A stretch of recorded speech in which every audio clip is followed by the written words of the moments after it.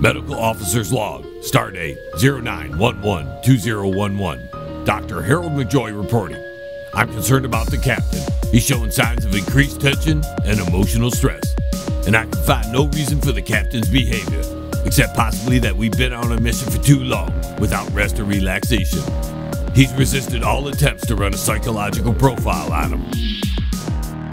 Captain, we've reached the anomaly. Mr. Tukok, run a scan and report. I just did that, Captain. That was the past, Mr. Tukok. I'm concerned about the present. Or is it becoming too difficult for you to comply with orders? No, Captain. Complying with orders. What's wrong, Jim? Nothing, Doctor. Poodoo, I know when something's bugging you. Don't you have something better to do? I'm doing something now, Jim. I'm checking on one of my patients. Who's that, Doctor? You, Jim. Why don't you go pester Engineer Montgomery? I believe he is due for a physical. As previously stated, it is a level 5 dimensional rip in the fabric of space-time, and you are sure that we caused it. Yes, Captain. The rip is emanating frequency radiation that matches our temporal wave signature. Damn, this is a mess. Mr. Dwarf, I want a meeting of the senior staff in two minutes. Yes, Captain. Mr. Medikoff, bring us to 3 million kilometers, then hold position. It would be my pleasure. You have the con, Mr. Medikoff. The Bangerverse. Space. Time. So boring. An adventure is what I need. Let's see what mischief is out there, out there.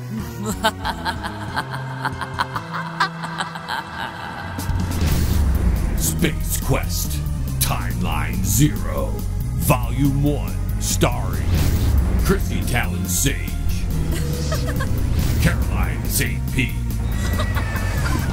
Diana Kennedy, and John LeBang. Special guest appearances by Karim C. Kronfli and Andrea DiGiglio. Mr. Tukok, do you have a theory on how the rip occurred? That's the curious thing, Captain. There appears to be no cause beyond our temporal wave signature. That doesn't make sense. We've traveled through time before. More analysis is needed. Monty, what is the status in engineering? Everything's fine, Captain, except for the waste disposal unit. It's backed up again. Hattie, that suit is becoming a problem. I was just disposing of the biocontainment suit. Well, you don't flush it down the toilet, Doctor. That is against all regulations. How am I supposed to know? I'm a doctor, not a plumber. Captain, I suggest we focus on the rip. What is the extent of the tear? Unable to ascertain the full scope without further readings, logic suggests that a rip in the fabric of space-time would affect all timelines and dimensions equally. What does that mean in English? Each timeline, realm, or dimension affected would slowly bleed into each other, like bodies of water that run together in a constant ebb and flow. We've probably seen that already. Mr. Dwarf, send a Class 2 probe into the rip. Yes, Captain. I recommend we do not make another attempt at time warp. Recommendation noted. Damn it, Jim. I told you not to mess with the space-time continuum. Your excuse, Doctor. Whatever. Mr. Tukok, you and Engineer Montgomery begin working on a solution. We will need access to the power reserves. And a wee bit more if I can find it. Get her done. Captain to the bridge! Report. We're being hit by some kind of energy wave. Mr. Tukok, scanning. Outer hull is 75% tolerance and rising. Ray shield. Fascinating. Let's hit it. We appear to be in some kind of multi-dimensional time loop. Mr. Medikoff, full power to the engine. You got it, Captain. No effect, Captain. Mr. Metadata, hail engine engineering. Engineer Montgomery on the line, sir. Monty, can you give me more power to the engines? No way, Captain! What about more shields? Aye! Make it so. Mr. Medikoff, turn us into the way. Engage. That's all we can give you, Captain! Hang on. Shields down to 45%. I have readings from the probe, Captain. I was hoping you would. These waves are emanating from the tear. They are ripples in space-time. What we are experiencing should pass momentarily.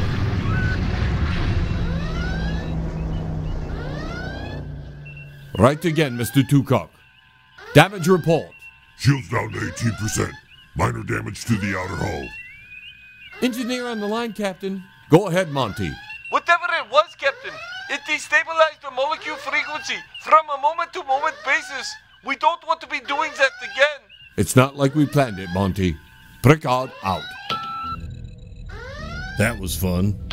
McJoy to the bridge. What is it, Hattie? We're a little busy right now. Can you keep the bumps to a minimum, Jim? We're doing the best we can, Doctor. I have additional data, Captain. Hattie, I'll get back to you. Don't you hang up on me, Jim. Jim, son of a Vulcan. Now look, well, as if my day isn't ruined enough. McJoy to the bridge. What is it, Hattie? Oh, we're in big trouble, Jim. Could you be more specific, Doctor? The toilet's backing up again, Jim. Hattie. Well, I gotta go, Jim. What am I gonna do? Come up to the bridge and use the toilet in my ready room. I don't know, Jim. I'm more comfortable on my own, if you know what I mean. Damn it, Hattie. Don't make me give you a direct order. Fine, Jim. I'll be there in a minute. McJoy out. Go ahead, Mr. Tucock. I have some interesting readings, Captain. Let's hit it, Mr. Tucock. The effects of the phenomenon are multiplying exponentially. Layman's terms, Mr. Tucock. I detect no less than seven alternative timeline intersects and one dimensional rip, all centered around a planet, which I suspect is Earth. You're unable to confirm? That's affirmative, Captain. There are voids in time encircling the planet, disrupting our sensor readings. And we caused this. More precisely, Captain, I surmise this is a result of a causality loop. Can you determine the dates of these intersects? No, Captain. Probe data is inconclusive. All right, I'm on the bridge, Jim. Damn, Hattie. Oh, sorry, Jim. Hurry up. Use the little boy's room. I'll be right back, Jim. Engineer Montgomery on the line for you, sir. Go ahead, Monty.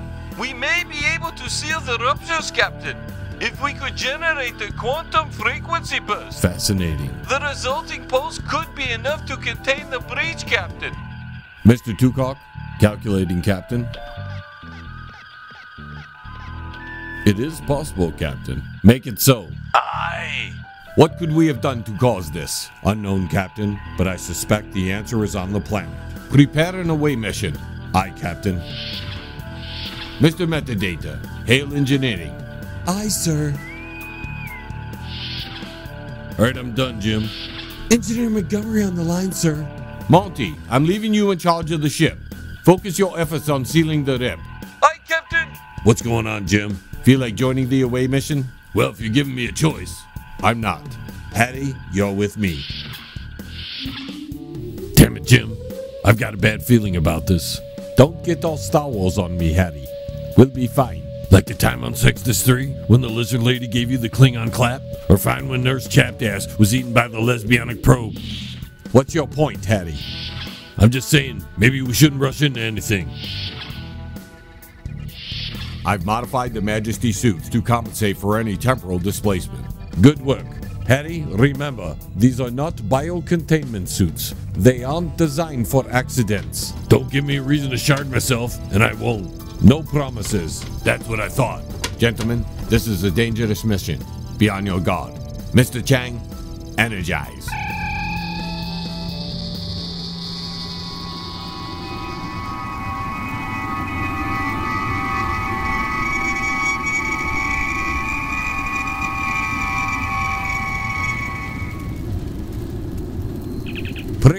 To away oh team. Tucock here, Captain. Where the hell are you? I'm lost. Apparently, Captain, we're lost as well. What do you mean you're lost? Jim, this is all your fault. What? That was Dr. McJoy, Captain. Put him on. Doctor, Jim, I could be home retired, but you got me lost in who knows what reality. Forget it, Hattie. Give me back Mr. Tucock. Whatever, Jim. Tucock here, Captain. Any explanations as to why we beamed to different locations? Not at the moment, Captain. Can you triangulate our position? Negative. Too much temporal interference. Proceed with the mission. I'll attempt to contact the ship. Tucock out. What do we do now? My endeavors are to focus on locating the source of the temporal disruption. I suggest you do the same. Don't give me any of your techno babble. I'm a doctor, not a GPS. Curious. What's curious? If my readings are correct, we'll be experiencing a time surge in the next five seconds. The hell is a time surge?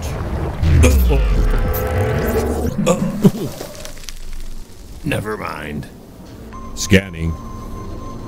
I know I'm not gonna like the answer, but I never like the answer. Curious. What happened? If my readings are correct, we have phased back to the year 2015. How in the blasted matrix are we gonna find Jim? If I may be so bold, I believe we're occupying the same location as the captain, just in different moments in time. There goes the space-time continuum. I'm detecting four life signs approaching. We can't allow them to see us. I'm well aware of that, Doctor. I suggest we use the Majesty cloak. What about the physical effects? Do you have a better suggestion? First time you ask me for anything, and it's a time like this. Would you prefer to hide? I'm a doctor, not a wife who cheats on her husband. Sexist, Doctor? Whatever. Engaging cloak.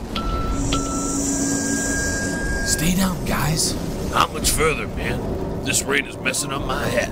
Not far, just beyond the fence. You mean we're heading into the old airport? We're never going to make it. We'll just lay low until they leave. Intriguing. I sure wish I had a beer. I was hating when you say that. I hope you know what you're doing. The only thing I know for sure is that we've got to get from here to there without being noticed. It's impossible. It does seem pretty risky. Just stay calm, everybody. I'm so very scared. Keep it down. Looks like it's leaving. Hush, boy. Disengaging cloak. I have a bearing on the source of the temporal disruption. Well, what the hell are we waiting for? This way. Computer, open new project. Hello, dear. Input current temporal phenomenon. What are we designing today? A quantum frequency delivery system. Quantum frequency? Oh, my G port loves when we frequently play quantum physics. Let me unzip the problem. Calculating. Initial design features are rendering. Erecting unit. Complete. Run simulation. Beginning simulation. Complete. 63.5% chance of failure. Hey, that's well short. That's what she said. Threshold tolerance unachievable with current unit of measurement. Look for alternatives. Okay, Big Daddy. It's scotch time. Cheers.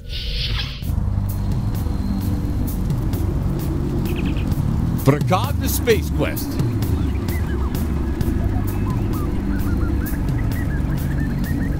Monty, can you hear me? We were transported to different locations. Do you copy? Monty, are you there?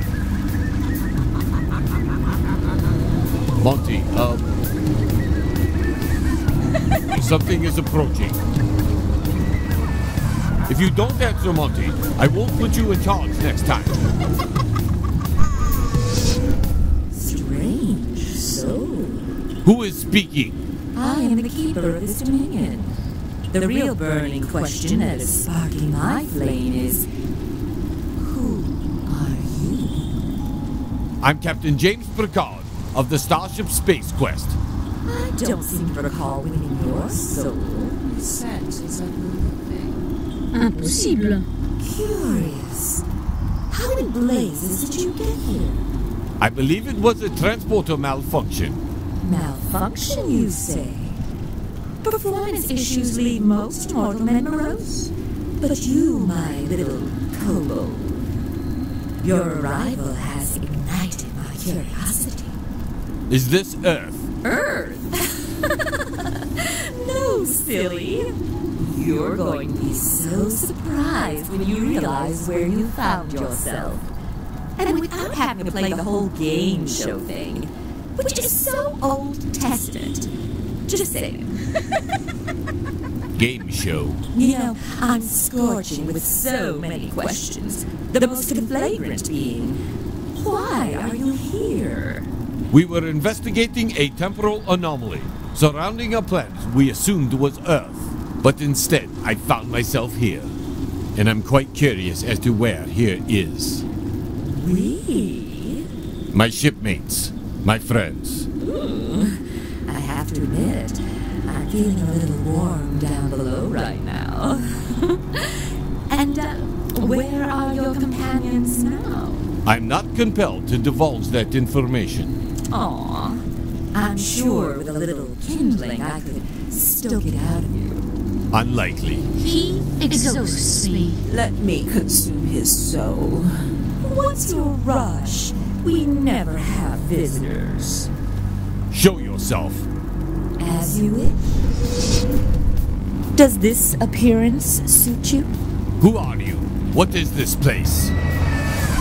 She is the Queen God. Ruler of the fire dimension. Now, kneel before her. Do you mind? I was going to have an epic monologue about how I came into power until you two smothered my flames. I told you to let her have her fun. But you're such a courtesan for assiduity. You're incapable of letting her have her moment.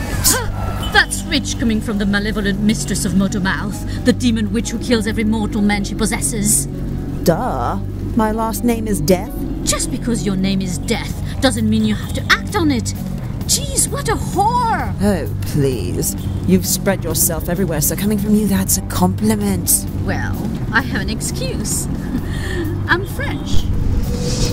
Ladies! Cool your embers! My apologies for their heated interruption. Things have a way of just lighting up when I become the subject of conversation. Now, where was I? You are about to tell me who you are. Oh, I've been called a labyrinthine of devilish personas.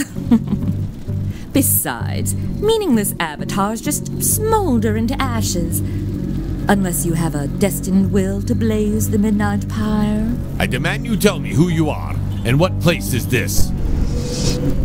Hmm. Don't you have a feisty little spirit? I like that. Let me take you back to the beginning. Once upon a time, my patriarch stretched out his hand, and the earth trembled at his very name. Burn, baby, burn. He built his empire by feeding on the abundance of souls who lost their fate with destiny. Sorry, G. That's another one for me. Biding my time there, I waited for my moment. In the depths of the inferno, where time has no meaning and space is filled with. well, I'd hate to douse your flame with any spoilers. Some things you just have to experience for yourself. My father thought his rule would be eternal. Forever is mine. But I knew Mr. Arrogance would eventually burn himself out. Mr. Arrogance. That's what we called him in secret. Talk about a narcissist. Everybody he knows was the, I'm the greatest. greatest this I'm and the the evilest at that. Whatever. After several dozen millennia, one's coals gets cooked out hearing that mountain of molten manure. Then came the wrestling match. That was the beginning of the end. Hell's bells! I was just about to get to that. My father, the devil he was, lost his grip on the netherworld like that. What the hell is going on around here? Despite all his fire and brimstone, his pomposity and ostentation led to one simple soul slipping from his grip. The only soul that has ever escaped a certain doom returned to the living. Shady Bastard. Shady. The one soul so many of us were waiting to torment. Broken hearts who sold their souls for eternal revenge against that one man. And my daddy, the former lord of the infernal region, was outwitted by a mortal from the ghetto. He soon was overthrown, and now, lost in exile, my star began to rise higher and higher. And now the throne is mine. Tell me about this revolution. Now that story has some combustion filled action, and I would just love to illuminate you. But my girls are thirsting for fresh souls, and it would just be a sin to deny them, especially since you wandered in here so willingly. He's all yours.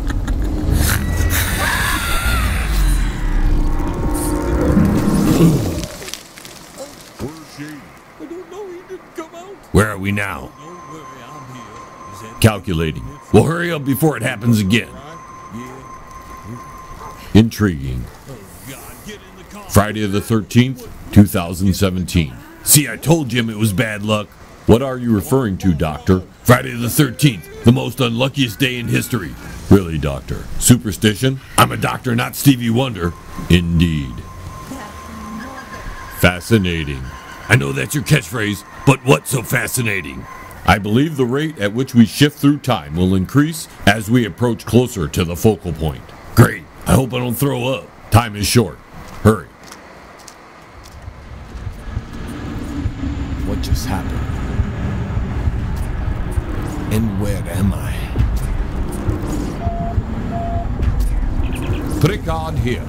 Captain, we've been trying to reach you, but your signal phased out of the space-time continuum. It's been a hell of an experience. We're trying to lock onto you now to beam you back, Captain, but the anti-time variance makes your frequency very weak. Well, hurry up, Monty. I prefer not going back to where I was. Aye, Captain, working on it. I must be near the focal point of the anomaly. There seems to be something phasing in and out. Can you pick it up? Aye, but it's phased. Hang on. Something seems to be happening. We're reading an increased amount of temporal energy. Monty, it's probably a good time to beam me up. Almost got you, Captain. Captain!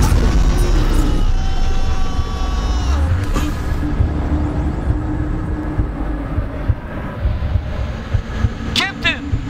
I'm fine, Monty, but someone came out of the anomaly. Who is it, Captain? It's a man. Ready for transport. Two to beam up, Monty. But, Captain! Just do it.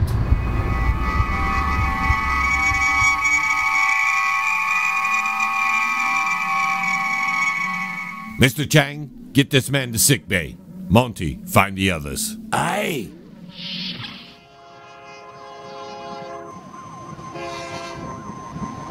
I hope we're getting close. Another time surge is imminent. Just dandy.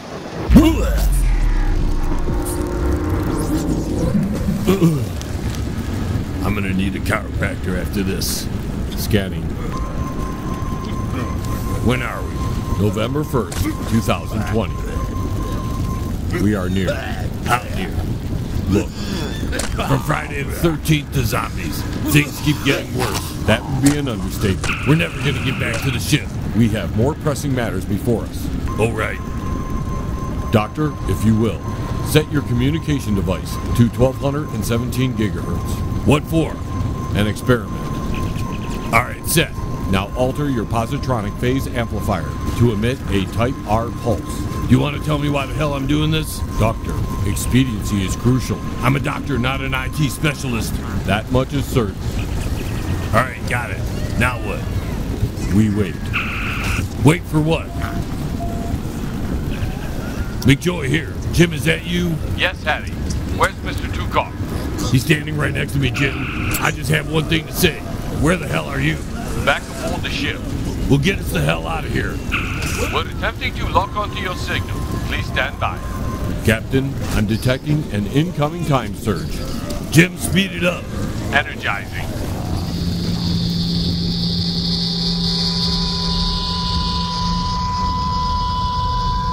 Welcome back, gentlemen. That was a close call. Must you be so emotional? Shut up. Calm down, Hattie. You're fine.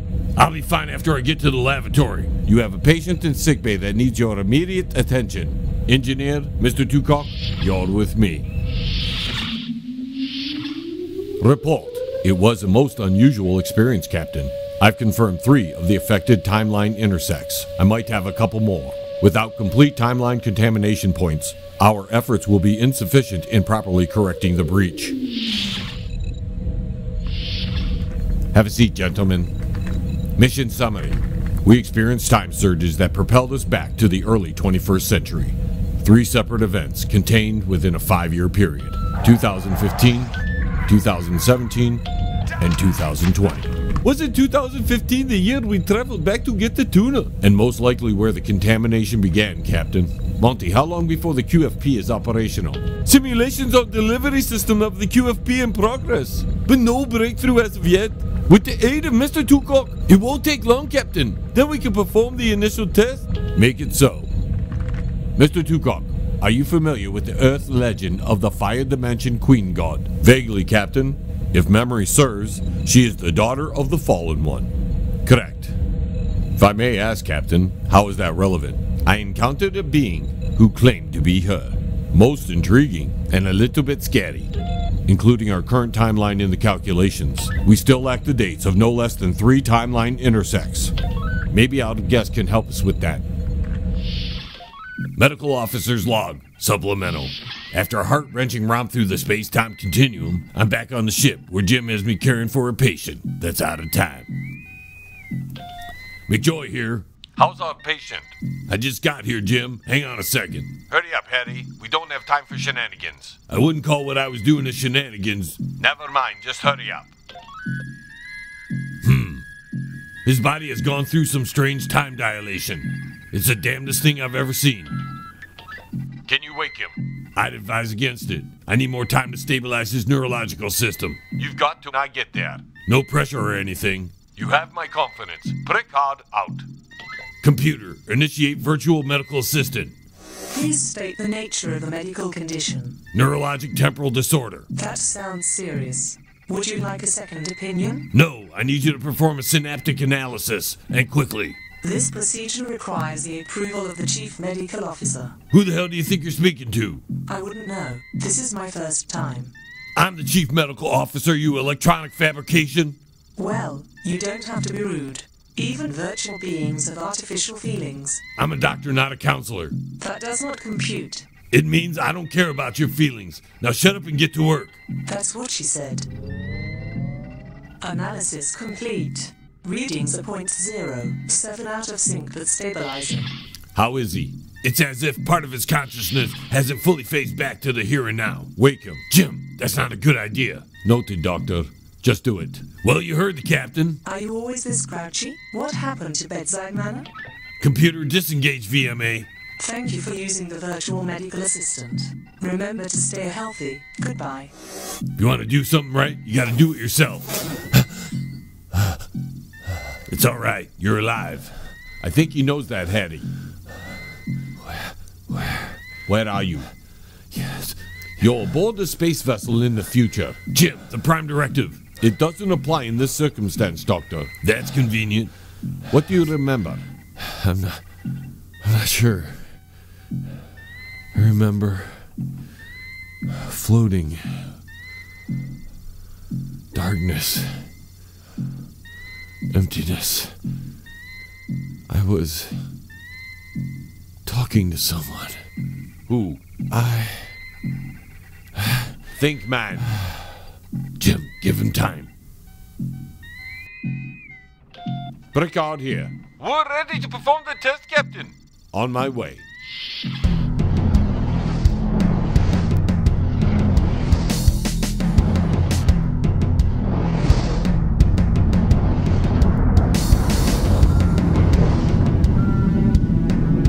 Spatial anomaly detected. Roger, roger. Scanning.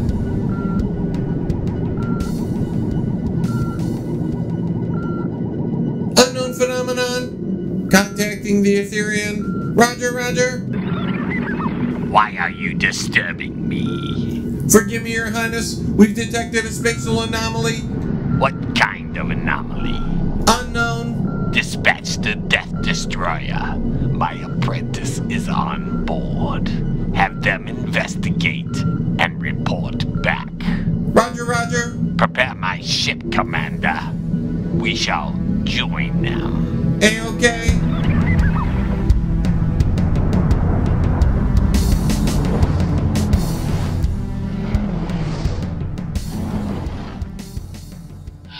Captain on the bridge. Mr. Tukok.